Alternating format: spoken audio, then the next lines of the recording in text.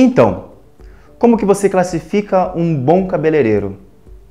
Muitos dizem que um cabeleireiro bom trabalha com qualquer coisa e chega no resultado que a cliente quer. Será que é assim? O cabeleireiro bom é aquele que trabalha com qualquer produto?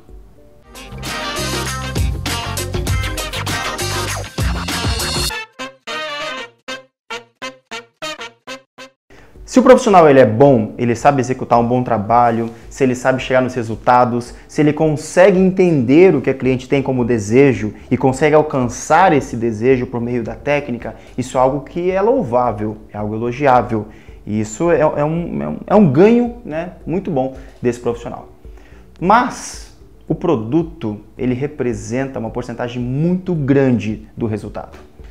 Quando nós lidamos com colorações que elas não têm tecnologia, ou com pó descolorante que ele não consegue clarear o, o, tom que você precisa, ou quando o tratamento ele não consegue devolver aminoácidos, queratina, não consegue devolver é, é, é, proteína para o fio, é lógico que o cabelo ele não vai se comportar da forma como ele deveria. Por quê? Porque o produto não te ajudou.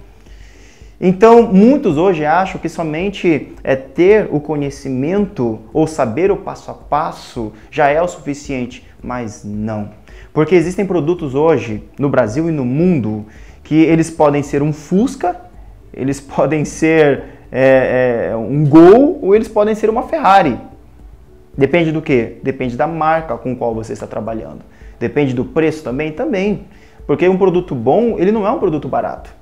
E lógico que isso tem que ser levado para cliente, a cliente vai pagar por esse serviço, vai pagar né, por esse custo. Mas quando nós queremos trabalhar com produtos muito baratos, produtos de varejo, produtos que achamos na farmácia, no mercado, e queremos oferecer isso para a nossa cliente como algo profissional, aí acontecem muitos erros, por melhor que você seja no teu passo a passo por melhor que você seja na sua técnica. Você pode desenvolver a técnica de fazer as mechas, mechas que sejam costuradas em transparência, mechas que sejam na vertical, sejam na horizontal, mechas nas pontas, californiana, Sankey, Summerlight, Ombre Hair, Ombre 3D. Você pode saber fazer a técnica mas o pó descolorante vai chegar no fundo de clareamento que você precisa, a coloração vai conseguir neutralizar o fundo de clareamento que vai aparecer, a coloração vai ter tecnologia para conseguir ter fixação e não desmontar tão rápido naquele cabelo ao qual você fez o processo tão bem.